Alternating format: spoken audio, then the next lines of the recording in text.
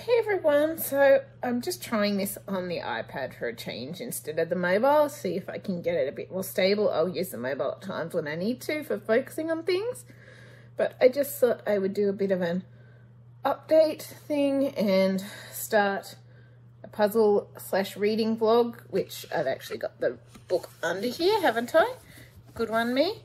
Um, so yeah, I'll just shift that and yeah, I'm just trying to hold this where I want it viewed kind of thing. Um, I'm still got my, excuse me, hand and wrist things. I'm trying a new type of brace. I've subluxed an area in my mid hand and dislocated, actually dislocated the area the other day because um, it took me quite a few days before I got it back into place. But yes, I've also got my bear here. Um, and I've got some puzzle stuff that I'll show you that I've got a review puzzle that I'm going to be working on that I'll show you shortly.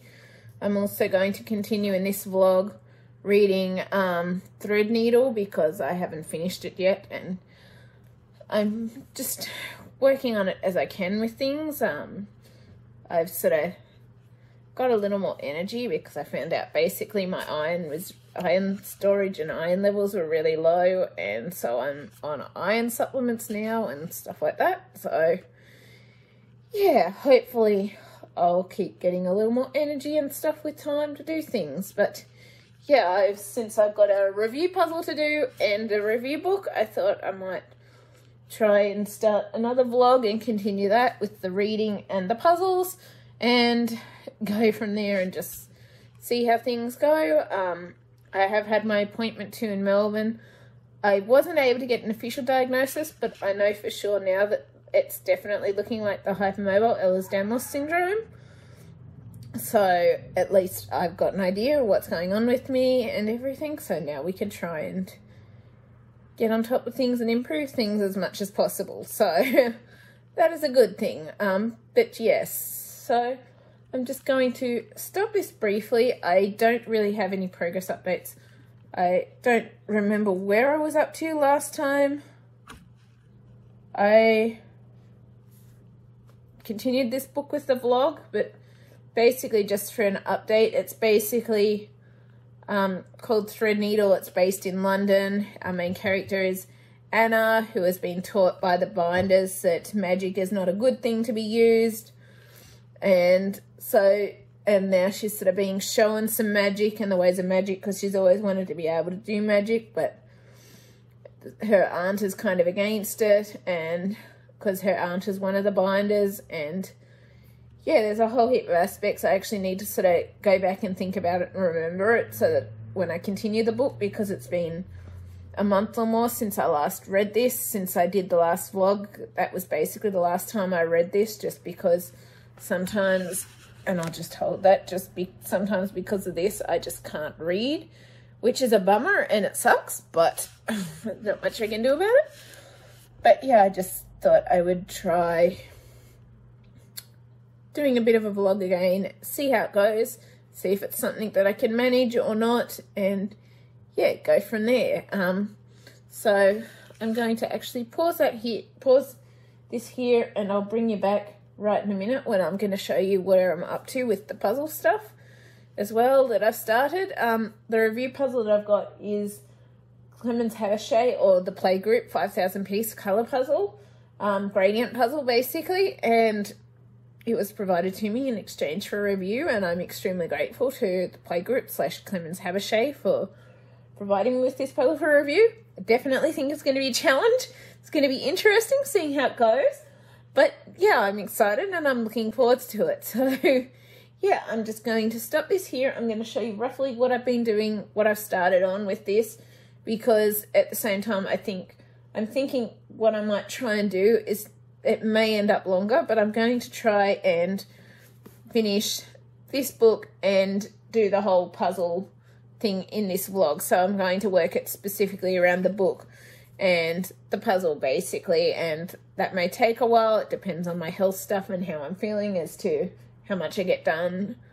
All of that sort of stuff. But i'm hoping to sort of work on it with the vlogs give hints and tips as to what i'm doing and how i'm proceeding with the puzzle show bits of me putting it together and showing bits of me doing reading this book and finishing it, being able to do um, give you a bit of a review on that, and then um, obviously do a separate review for this book as well.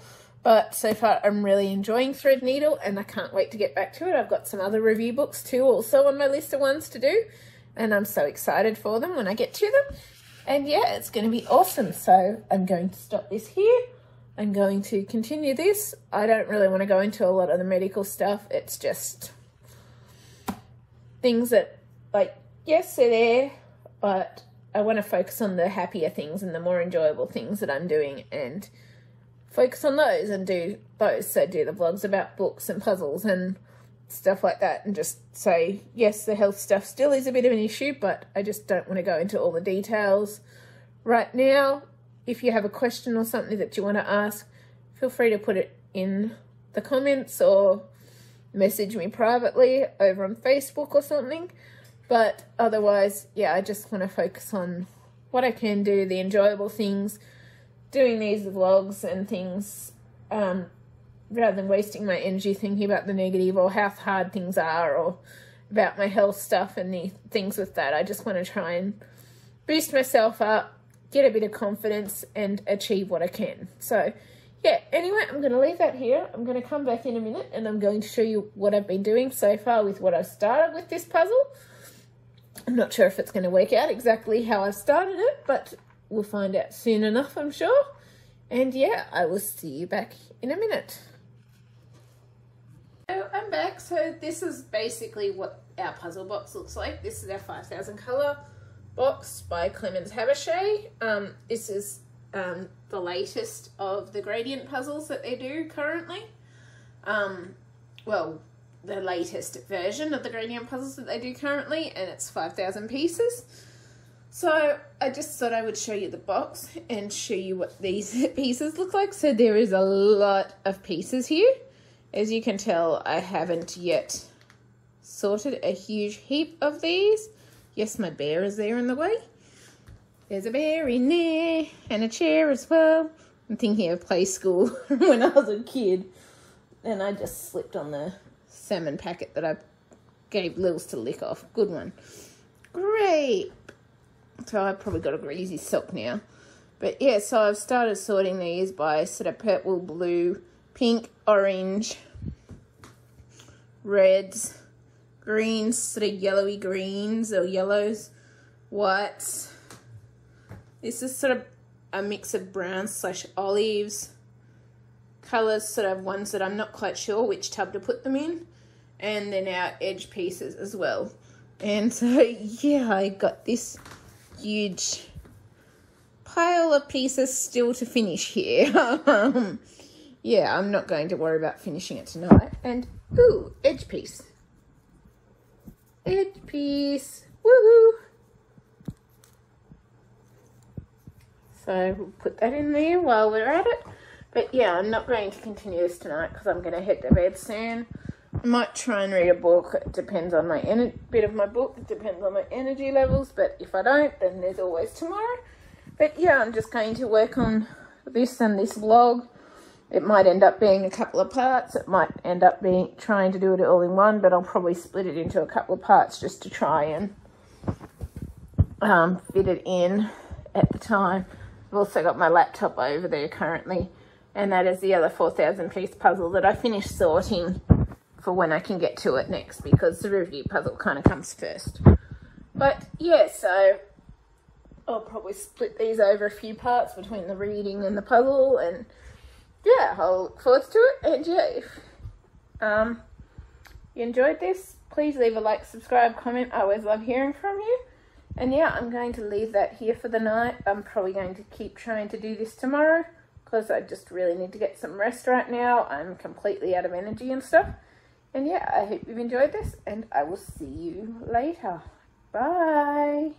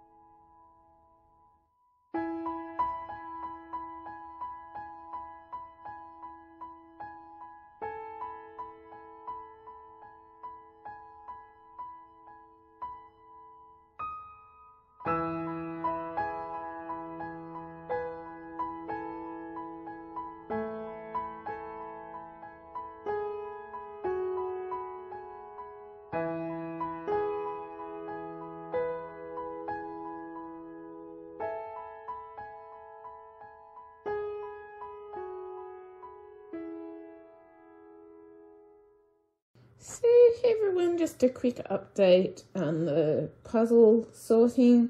So I haven't been very well for the last week, so I've just been gradually doing this at times whilst I've been watching movies and that.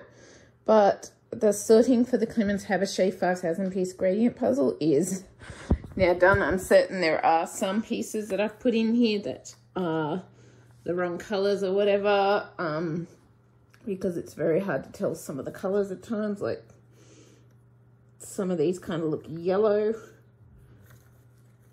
but it's kind of hard to tell.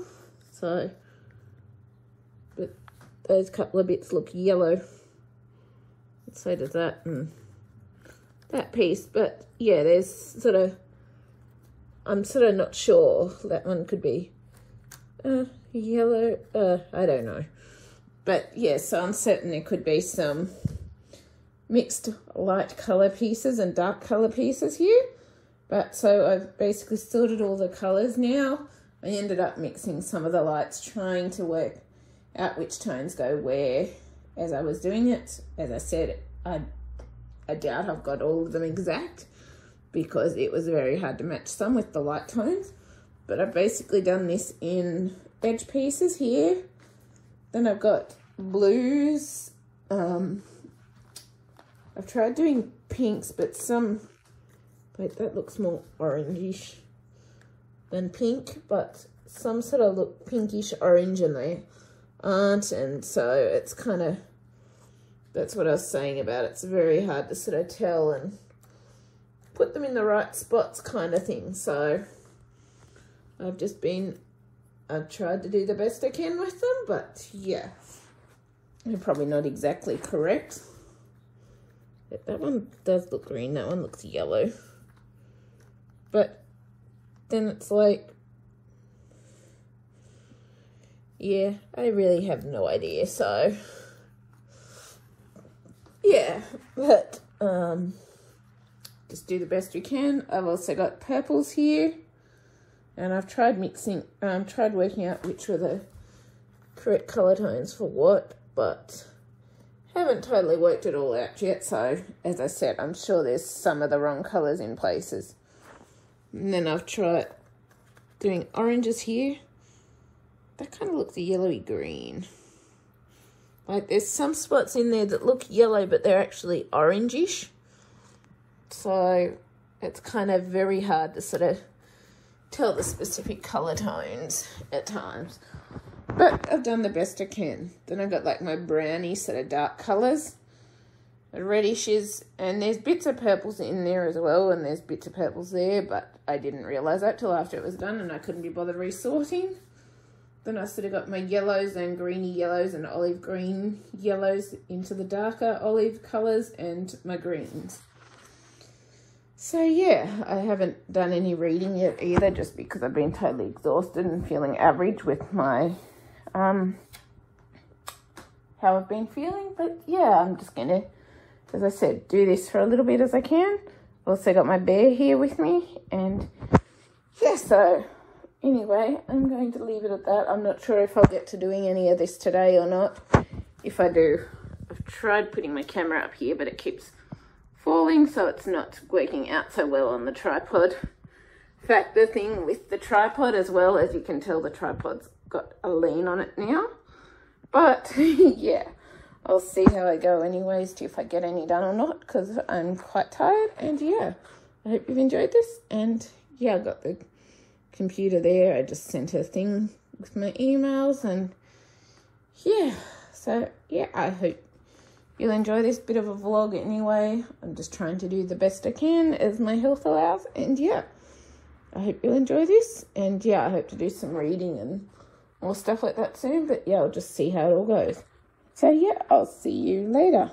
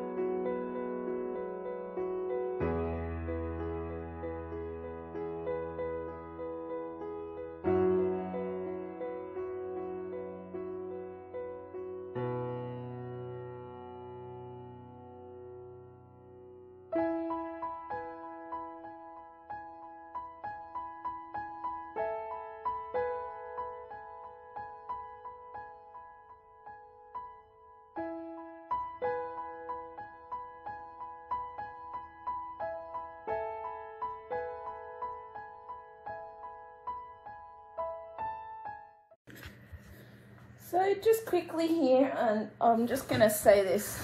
I just, since I'm doing pointers and tips with what I'm doing with this current puzzle with the 5,000 piece gradient puzzle from Clemens Habicht. So this puzzle, um, I just thought I would come in with another hint and tip on how I've just worked this out and how I want to proceed with this. I'm just shifting my thing from my ankle out of the way quickly. Um, but yeah, um, what I sort of realized I could do with these was basically I've sorted roughly by colors, but obviously it's not exactly perfect. As you can tell here, I'm separating into different color tones based on what I can see, um, like the yellowish greens or deeper greens and that, because I've got the border down now, but I'm actually, um, even though I've got the border down, I've actually, um, what am I saying? I've actually realized that if I separate the, um, uh, no, what am I, what am I saying? I don't know. Um, basically what I was thinking was because I've got green on both sides, dark on the bottom and white on the tops, and usually I use the border as my starting point. So, and I've noticed a lot of people say, oh, I don't rely on using the border and that for this one as a starting point. So I've been thinking about, well, what's a way that I can actually go ahead and do this using that starting point and trying to tell the colours and I'm actually noticing it must depend on the time frame as to how easy to see the colours or maybe it was just that I was tired but I'm actually finding myself able to see the colours a bit better and easier tonight. Um, but I was thinking about it and I was I just tipped out this pile and I just started sorting through it and I realised well even though yes there's a difference in colours I can still separate those into different coloured piles and use that in um, in how I sort these to start putting them together because I was thinking I have no idea how I'm going to know how to put these together. Like even I've got some further up here that are more white. So I've got like bluey tones here yellowish greenish tones greenish tones. And because it's green on either side I thought well if I start with the green at least it's something to work in. And there's the other edge piece I was missing. So yay that's done there. But I thought um, that might be a way to start working through this rather than just trying to randomly, because I tried to sort by colours. So I'll just show you. Well, you saw them all before, but I've got a whole heap of puzzle tubs with different colours, but I haven't been able to totally separate or whatever. And so I thought, well, if I start by first mixing like the the bluey colours or trying to separate what colours I've got per tub and work with them, it gives me a starting point to start connecting colours, I guess you could say. So that's kind of where I decided to start with because I thought, well, otherwise I just have no clue how or where to start. So I'm trying to sort of get a bit of an idea and just look through the colours, sort through them, and then I'm separating them based on what colours I'm finding. So yeah, I hope that helps anyway. I do want to try and get to some more of the reading vlog, reading stuff too, but um, yeah, I'm hoping to do that sooner than later, but yeah, I'm just sort of sorting through trying to separate these into different piles at the minute. So yeah, um, I hope this kind of helps anyway. I do. I'm trying to anyway.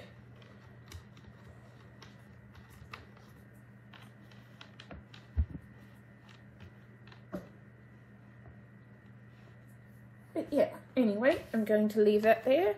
I just thought I would bring that in and so that's what I'm trying to do. As you can notice, I've got a whole heap of sort of greeny tones out here. Um, I'm certain that some of the greens are in with the blue as well. But yeah, just got to do the best we can to work with what we've got. And yeah, I'm just trying to do my best to separate these in a way that I can actually work with it and start using them. And then I'll go through and probably once I've roughly separated them, I'll probably go through and split things again and check through to make sure that I haven't put wrong colours because that always happens. I always end up putting wrong colours somewhere. So, yeah, I always double, triple check just because you're not going to get it right first time or every time. And that's why I usually end up doing multiple sorts when I'm doing my puzzles.